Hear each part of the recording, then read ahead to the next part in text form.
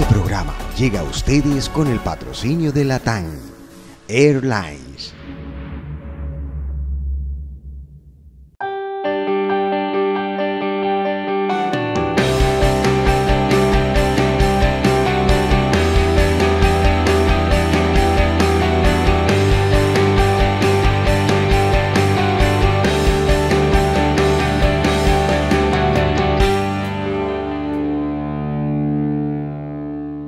La coqueta ciudad de Valdivia está enclavada en la región de los ríos, donde la red de navegación forma parte de lo urbano. Cuando se la visita, recorrer su casco céntrico, sus puentes emblemáticos y la salida al mar son los mayores placeres. Valdivia es, una ciudad que está rodeada de ríos, entre ellos el más importante es el río Calle Calle. Esta situación fue aprovechada por los españoles a través del río Valdivia llegaron hasta este sector que ustedes ven a, mi espalda.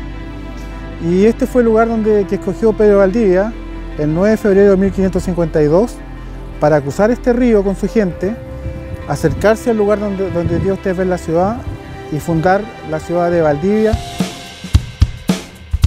En el sur de Chile, los indígenas araucanos tenían la fama de ser guerreros que nunca soportaron la presencia del colonizador español pero hubo otros grupos que dialogaron con los extranjeros y permitieron su presencia en algunas zonas. Valdivia fue una de ellas y fue precisamente por iniciativa de una mujer de esa tribu. Entonces hay una leyenda muy bonita que dice que había una, india que se llamaba Rakloma, que ella, sin el consentimiento de su gente, se tiró al río, cruzó, se entrevistó con Pedro Valdivia y le preguntó qué, venía a hacer a sus tierras. Y Pedro Valdivia le, le contestó de que él venía a fundar una ciudad y que podían vivir juntos sin ningún problema.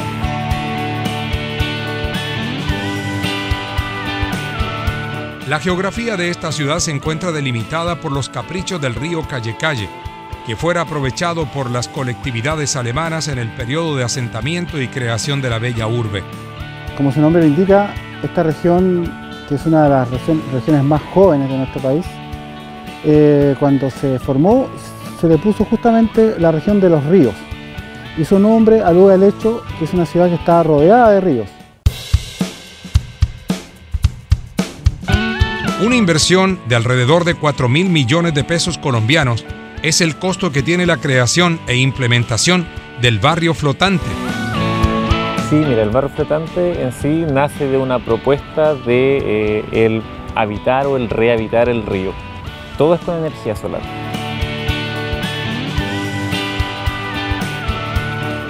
Oye Samuel, la presencia de estos lobos marinos, estas gigantescas criaturas en un río, ¿cómo uno puede explicar si ellas son, son criaturas son, de, mar? de, mar? ¿Sí? Claro, mira, en realidad todo eso responde a, un poco lo que nos dejó el terremoto de 1960. Entonces, a cierta hora del, día, del día este río incorpora eh, eh, mucha agua proveniente del mar y a cierta otra hora del día sigue su flujo natural que es de cordillera mar, como nos enseñan a todos en el colegio. Agua dulce. Entonces tiene una mezcla de agua dulce y agua salada. También hace que este río tenga corrientes en sentido mm, no normal o antinatural, por decirlo de alguna manera.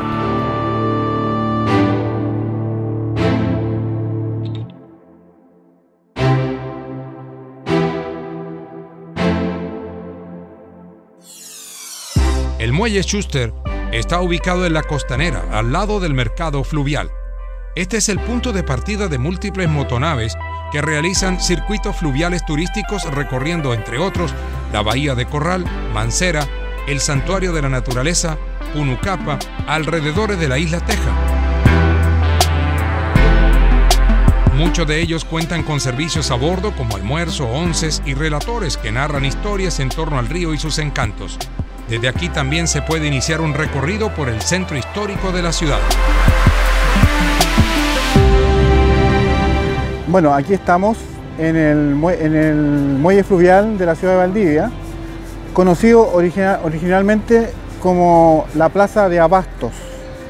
Este, a este lugar accedían las embarcaciones que conectaban la, ciudad durante la colonia, con principalmente con Lima, con Perú, con las costas de Perú donde, donde Valdivia ¿no es cierto? hacía todo su, su, comercio. Es muy importante destacar que este lugar es uno de los lugares más históricos de la ciudad porque desde aquí partió en 1553 Francisco de Ulloa, por orden de Pedro Valdivia, a descubrir el estrecho de Magallanes. Después, siguiendo con los antecedentes históricos, tenemos que en 1820 aquí llega Lord Cochrane, un marino inglés que liberó a la ciudad de Valdivia del dominio español, llega con su embarcación hasta acá, baja con sus tropas y sube por esta calle que, tenemos aquí a mano izquierda, sube por la calle, la gente lo estaba esperando, lo, vitoreaba con, con bandera, etc. Llegó hasta la Plaza de Armas, donde lo estaban esperando las autoridades. Por esa razón esta calle hoy día se conoce como la calle de la Libertad o calle Libertad, que es un, que es un paseo, que ustedes se fijan, conecta con la Plaza de Armas o Plaza de la República, que es la plaza principal de la ciudad de Valdivia. Y también vemos al fondo la Catedral de la ciudad de Valdivia.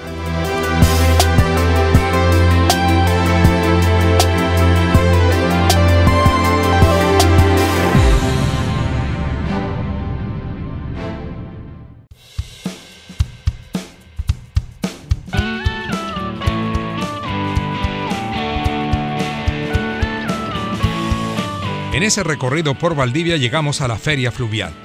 Es un mercado.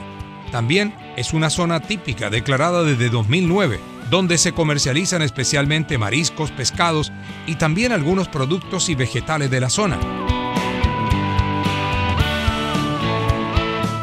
Corvinas, reinetas, róbalo, un poco más allá encontraremos merquén y diversas hierbas.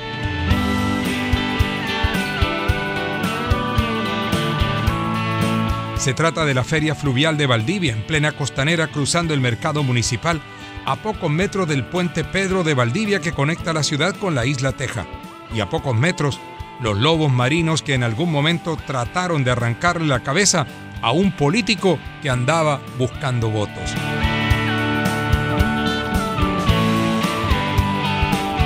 Es un punto fantástico entre los botes y las lanchas para salir a recorrer el mercado para comprar souvenir comida fresca combinada con vista al río y a los típicos animales que se acercan a las caletas a buscar alimentos. Bueno, ahora llegamos a uno de los sitios eh, más emblemáticos de Valdivia, que es la feria fluvial, donde se venden los productos típicos de la región. Aquí hay unos pescados y unos mariscos que son propios de esta región y sobre todo de Chile por eh, las características del Pacífico. Eh, pescados y mariscos extraños que seguramente en Colombia pueden ser una sorpresa. Bueno, acá tenemos por ejemplo la, sierra, tenemos sierra, tenemos salmón, tenemos, tenemos jaivas, que es una de las cosas que, importantes de, Valdivia, y allá tenemos mariscos, choros, maltones, almejas, tacas, etc. Todos estos productos salen en las costas de Valdivia. Oye, ese atún que está ahí, ¿también sale de aquí? ¿E-, ¿Ese de acá, ese atún? ¿Ah? ah de Keule. Keule está al norte de Valdivia, es Valdivia. Ya. Oye, la presencia de estos lobos marinos aquí, que hablábamos ahorita sobre el tema del agua dulce, ¿cómo pueden ingresar a esta zona si ellos son animales de mar? Exacto, pero aquí tienes la prueba de que sí, sí lo pueden hacer yo tengo entendido que es un tema de, necesidad. Lo que pasa es que aquí en la costa tenemos muchos lobos y estos son, son desplazados, son lobos machos desplazados por, eh, otros lobos más activos que no, tienen espacio en la costa y, aquí se vienen a instalar, ¿no es cierto? Y, por lo demás tú ves que le dan comida, entonces tienen comida gratis, no es mucho el esfuerzo que tienen que hacer.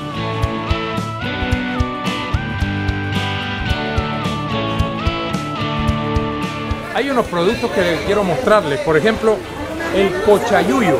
¿Por qué no nos explicas qué es el cochayuyo y dónde se consigue? Bueno, el cochayuyo es una alga muy importante desde el punto de vista culinario que sale de las costas de, Chile y que se vende de esta forma, que parece cuero de chancho seco. sí, sí, sí. Pero no, son algas. Tú, tú sacas, este paquete te puede servir para varias comidas, te puede servir prácticamente para unas cinco comidas Tú sacas unos tres o cuatro de estos, los humedeces para que se ablanden, se ablanden y esto lo picas en trozos, chiquititos, lo mezclas con papa, arveja, eh, zapallo y tienes una comida típica chilena que se llama el charquicán. El charquicán, con el cochayuyo.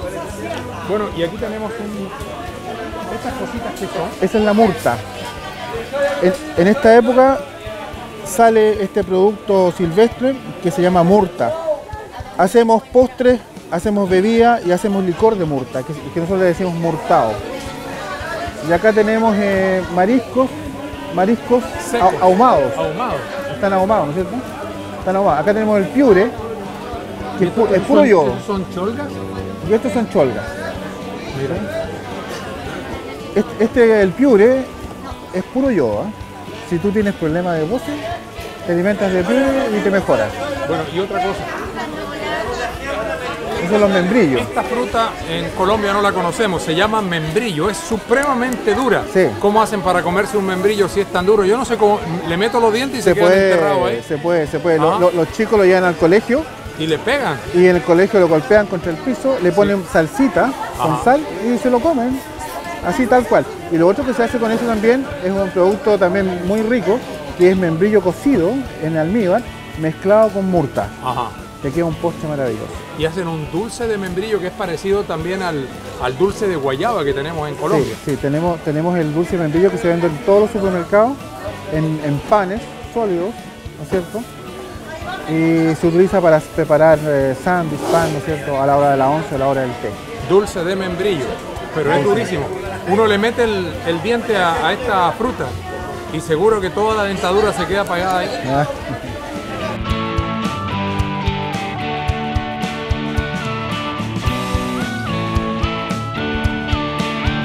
Bueno, les quiero mostrar otros productos que eh, Pablo nos dirá qué características tienen.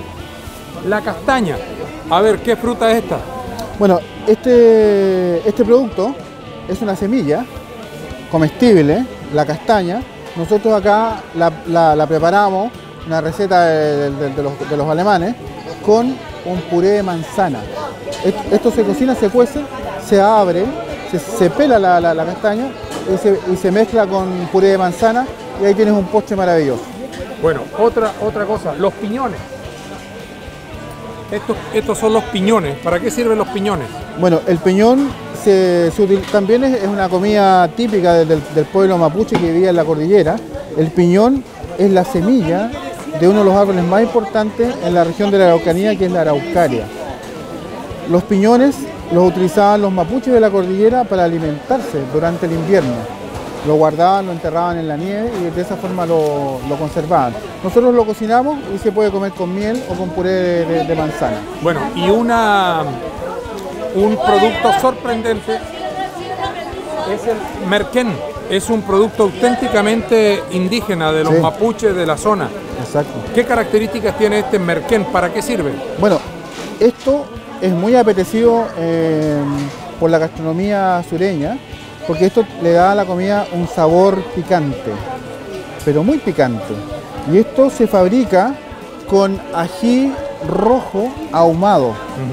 Y tú puedes ver que tiene un aroma maravilloso. No solamente le, le- le- le cambia el sabor a las comidas, sino que el aroma es totalmente distinto. Merquén, palabra mapuche. Sí. Ah, muchas veces lo combinan con aceite y hay aceite de oliva combinado con merquén. Bueno, cuando tú estás preparando, eh, estás sazo- sazonando, cuando tú las- vas a sazonar colas de camarones, tú le puedes agregar merquén, un aceite especial, eh, ajo y eso haces una, una pasta que sirve para sa- sazonar los, camarones, los mariscos, etc. Ya nos está dando hambrecita. ¿eh?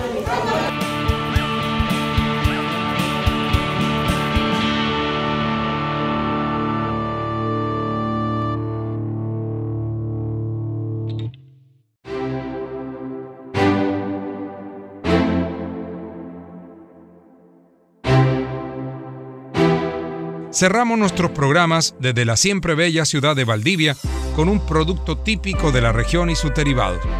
Estamos hablando de la sidra y la chicha de manzana. Los encontramos en el lagar de la familia Lobo.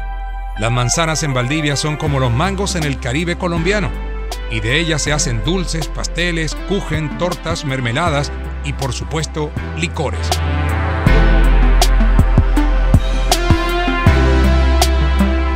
Amables televidentes, ya casi para despedir el programa que estamos realizando aquí en Valdivia, hemos llegado al lagar del señor Jorge Lobo.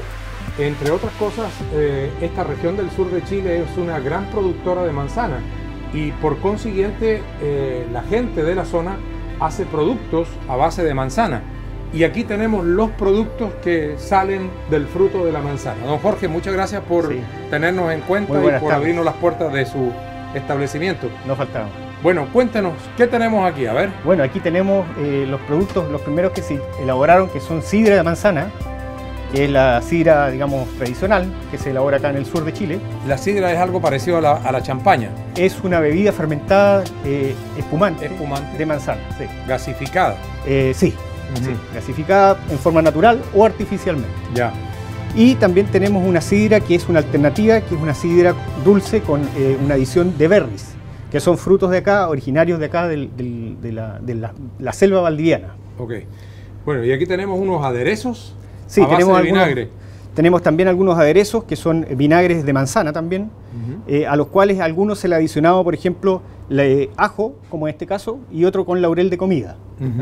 Entonces se sirven para distintas aplicaciones en, en la- en- en los aspectos gourmet de las comidas, Ensaladas principalmente. principalmente ensaladas, sí. Bueno, y aquí veo otro que está en el centro que es. Ese es eh, vinagre natural de manzana, no tiene adición natural. de ninguna esencia. Bien. Bueno, y estas botellas que tenemos aquí. Esas botellas son de jugo, la primera esa que tú estás señalando, Ajá. es de jugo de manzana natural, Esto es sin que- adición de ninguna... ¿Pero tiene ningún- licor? No, no tiene alcohol. Ah, jugo de manzana. Es jugo de manzana. Ok. Esta. Y esa es, eh, sí, es una chicha de manzana. Es, una, es un- el primer fer- de- de- fermentado de la, del jugo de manzana. El primer Bueno, fermentado. Y entiendo que aquí han, han, eh, han hecho la misma chicha, pero con berry. Sí, claro. eh, también es jugo, pero Mm. es de berries. eh, digamos, es natural. No tiene nin- ninguna adición de azúcar ni de preservantes químicos. Bueno, vamos a hacer la degustación. Este es el jugo, ¿no? Sí, claro, ese es jugo Bueno, de vamos manzana. a probar el jugo de manzana. Este no tiene licor. Delicioso, ¿ah? Sí, claro. Es un producto totalmente natural y autóctono de acá, nativo de la zona, Este para, para desayunar, para por supuesto. después de hacer deporte. Sí, es rico en vitamina C y en ácidos orgánicos. Bueno, ahora vamos a ir con las cosas más espirituosas, ¿no? A ver, Esa es la chicha de manzana. ¿y este fuerte? Sí. ¿Cuántos grados grado- puede alcanzar esta? Eh, hasta 8 grados, hasta 8 grados más o menos. Pero esa debe tener entre 6 y 7. ¿Como una cerveza? Sí, claro. Como una cerveza fuerte. Tiene buen olor, ¿ah? Porque la Sí, manzana es una, Es una una fruta, muy aromática. Sí. Y muy eh, diversa. ¿De qué tipo de manzana hace la chicha? Estas son unas variedades dulces que se llaman prima y una mezcla con prima y liberty. Son dos variedades de acá que se encuentran en esta zona sur. Y vamos a terminar con esta chicha de manzana con berry. Esa es, no, ese es puro berries. Ah, puro berry. Puro jugo de berry, no es esta. ¿Pero tiene alcohol? No, Ah, es jugo. es jugo. Mm. Jugo de berries. Muy rico, ¿ah? Sí, claro. Mucha vitamina C también. mucha vitamina C y naturalmente te- tiene un poco de cranberry también. El cranberry tiene las propiedades de tener eh, naturalmente benzoato de sodio en su composición. Eh, por lo tanto, eh, es un agente antiséptico y protector de las vías urinarias. Eh, esta mañana que salíamos de Valdivia vimos un cultivo de berry. Muy bonito el cultivo de Sí, berry, ¿no? es precioso, muy bonito, sí. Bueno, don Jorge, muchas gracias por su tiempo. muchas Le agradecemos habernos dado toda esta explicación. Amables televidentes, nos estamos despidiendo de Valdivia con, este, con esta cata de sidra y chicha de manzana. Que tengan un resto de día muy feliz, que Dios los bendiga. Son los productos de esta región. Chaito, muchas gracias.